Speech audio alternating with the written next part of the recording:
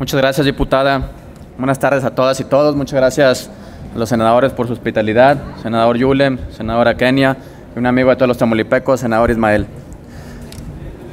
Hace unos días se hizo una difamación en este mismo foro por parte de un diputado local de Tamaulipas, que omitiré su nombre, diciendo que la deuda pública en Tamaulipas se había duplicado. Es lamentable y da tristeza que legisladores de Morena usen estas tribunas y foros para mentir, difamar y engañar a los ciudadanos tamaulipecos, pretendiendo con esto una falsa simpatía electoral. La desesperación de no haber cumplido sus intereses personales y partidistas en Tamaulipas es tan evidente que hace que sin argumentos sólidos intenten demeritar los logros y avances que hoy las y los tamaulipecos hemos logrado logros que se ven en el desarrollo de nuestra entidad con infraestructura, seguridad carretera, paz social e inversión extranjera, por mencionar algunos. Los números son fríos y no mienten. De frente y con la verdad, como nos gusta a los tamaulipecos, les comparto algunos datos respecto a los recursos públicos en el Estado.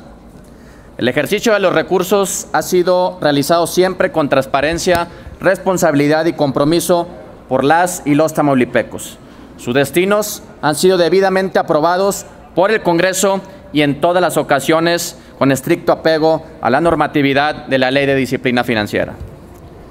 Trimestralmente se publica por la Ley del, del, Estado de la Deuda en el Registro Público Único, que además cabe mencionar, y hay que aclararlo muy bien, 12 mil millones de pesos de la deuda total han sido heredados por administraciones anteriores, casi un 70 por ciento.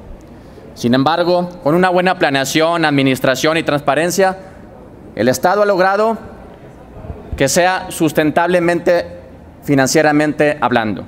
De tal manera que en los indicadores que establece la Secretaría de Hacienda y Crédito Público, Tamaulipas se encuentra en semáforo verde.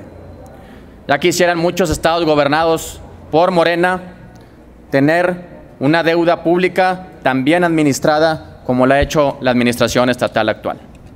Aprovecho finalmente para hacer un llamado a mis compañeros legisladores de Morena, para que recuerden que se debe legislar con responsabilidad y no como lo han pretendido realizar en sus actividades legislativas, sin un análisis correcto, buscando perjudicar los ingresos que benefician directamente a las y los ciudadanos tamaulipecos. Y además, invitarlos a leer las primeras páginas de la Ley de Ingresos de la Federación, en donde explican todo el, endeudamiento del gobierno federal, evidenciando una vez más una mentira de la 4T, porque aseguran en sus discursos que no se han endeudado.